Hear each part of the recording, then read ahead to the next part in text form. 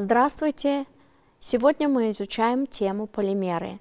Полимеры еще называют высокомолекулярными соединениями. Сегодня мы рассмотрим основные природные синтетические полимеры, способы получения полимеров, основные понятия химии полимеров и Приведем примеры к пластмассам и волокнам. Природные и синтетические полимеры. Полимеры – это соединения, без которых человек уже не может обойтись. С этими соединениями знакомы все, от самых маленьких до пожилых, от домохозяек до специалистов многих отраслей промышленности. Так что же такое полимеры?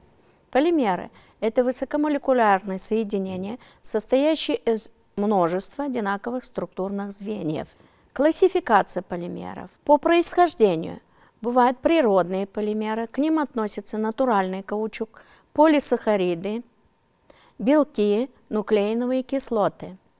Синтетические полимеры. К ним относятся синтетический каучук, полиэтилен, полипропилен, поливинилхлорид, политетрафторэтилен. Искусственные полимеры – это модифицированные химическим путем природные или синтетические полимеры.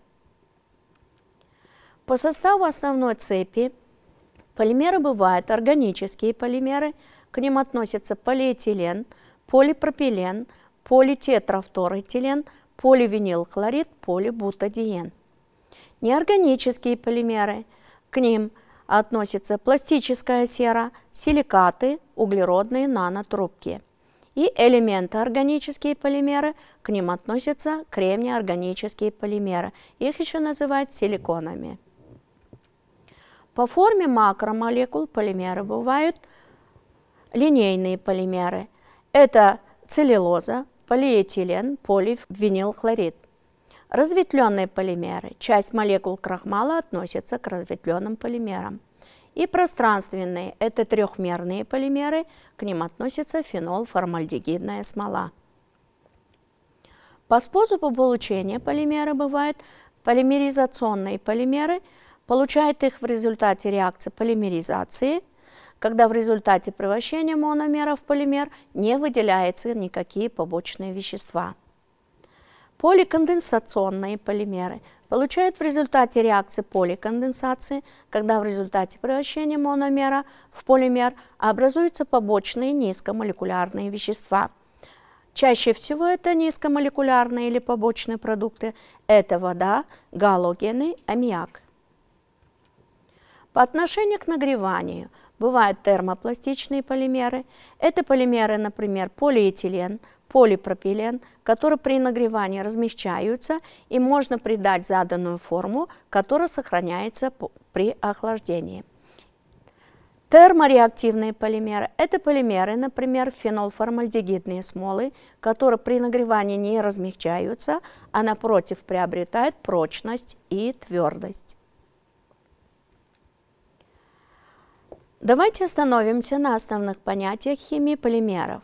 Макромолекула от греческого слова «макрос» означает «большой, длинный». Мономер в составе полимеров – это исходное вещество для получения полимеров. Полимер – многомер – это структурное звено. Поли означает, как мы уже знаем, макромолекулы, большой, длинный, много. Структурное звено – многократно повторяющиеся в макромолекулы группы атомов. И Следующее понятие – это степень полимеризации. Обозначается буквой N. Число структурных звеньев в макромолекуле. Общая формула получения полимеров NX. И в скобке здесь мы видим, что X является мономером, поэтому образуются химические связи за счет разрыва тех химических связей в составе мономера, и за скобку указываем N. Значит, по формуле X это мономер, а в скобке X с двумя химическими простыми связями это структурное звено полимера. N – это степень полимеризации, а в формуле в правой части X в скобке N – это макромолекула полимеров. Итак, в зависимости от строения основной цепи полимеры имеют разные структуры. Линейную, например, полиэтилен, разветвленную, например, это крахмал, и пространственную, например, это вторичная или третичная структура белков. Структура белков бывает, как мы знаем уже, линейная, разветвленная и пространственная. Здесь вы видите различные формы структуры полимеров. Пластмассы и волокна. Обычно полимеры редко используют в чистом виде. Как правило, из них получают полимерные материалы. К числу последних относятся пластмассы и волокна. Пластмасса – это материал, в котором связывающим компонентом служит полимер, а остальные составные части – наполнители, пластификаторы, красители, противоокислители и другие вещества.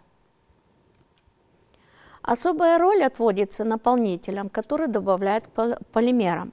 Они повышают прочность и жесткость полимера, снижают его себестоимость. В качестве наполнителей могут быть стеклянные волокна, опилки, цементная пыль, бумага, асбест.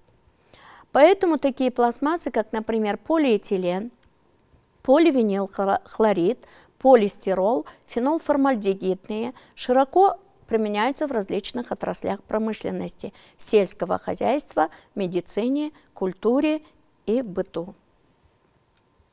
Волокна – это вырабатываемые из природных или синтетических полимеров длинные гибкие нити, из которых изготавливается пряжа и другие текстильные изделия. Волокна подразделяются на природные и химические, и бывают натуральные – вот природные это и есть натуральные. Это натуральные материалы животного происхождения, например, хлопок или он. Химические волокна получают путем химической переработки природных, прежде всего целлюлозы или синтетических полимеров. К химическим волокнам относятся вискозные, ацетатные волокна, а также капрон, нейлон, лавсан и многие другие. Итак, мы с вами рассмотрели полимеры, то есть как высокомолекулярное соединение, строение полимеров и виды полимеров. Давайте теперь с вами напишем химический диктант. Для того, чтобы написать химический диктант, я вам приготовила два варианта диктанта. Вариант первый. Допиши определение. Полимеры – это соединения молекулы которых состоят из множества повторяющихся одинаковых. Вы здесь должны написать два предложения. И второе. Реакция – это химический процесс соединения множества молекул мономеров в крупные молекулы полимеров. По форме макромолекулы полиэтилена является. Значит, где пропущенные слова, вы должны написать и, пожалуйста, подумайте, какие предложения, какие слова можно написать в данном диктанте. Итак, проверяем наши знания. Итак, допиши определение. Полимеры – это высокомолекулярные соединения, молекулы которых состоят из множества повторяющихся одинаковых мономерных звеньев. Реакции – Полимеризация – это химический процесс соединения множества молекул мономеров в крупные молекулы полимеров. По форме макромолекулы полиэтилен является линейным полимером. Итак, после проверки ваших знаний можете запомнить эти определения и написать в ваших тетрадях эти записи. Основные выводы – Полимеры классифицируют по составу основной цепи, по форме макромолекул, по происхождению, по способу получения по отношению к нагреванию. По этим классификациям мы с вами рассмотрели основные понятия, какие бывают полимеры. Второй вывод – это свойства полимеров зависят от строения и формы макромолекул высокой молекулярной массы. Итак, для проверки ваших знаний я вам предлагаю тесты. Чтобы написать ответ для этих тестов, вы должны внимательно прочитать вопросы и сделать записи в тетрадях, то есть ответы в тетрадях. Первый вопрос. Лавсан получает полимеризации этиленгликоля или терефталевой кислоты? Ответ поясните и напишите. Второе. Волокно, нейтрон, внешне похоже на шерсть. Третье. Полимеризация – это процесс соединения одинаковых молекул мономеров в молекулы полимеров, протекающих за счет разрывов кратных связей. Если вы считаете, что ответ правильный, значит вы в тетрадях пишите это же определение. Если ответ считаете неправильным, то, пожалуйста, предложите ваши свои ответы. Четвертый вопрос. Целью получения ацетатного волокна целлюлозу обрабатывают адипиновой кислотой в смеси с другими реагентами? Ответ. Напишите, пожалуйста, по источникам э, по изучению темы полимеры. Пятое. Шелковое волокно относится к волокнам растительного происхождения.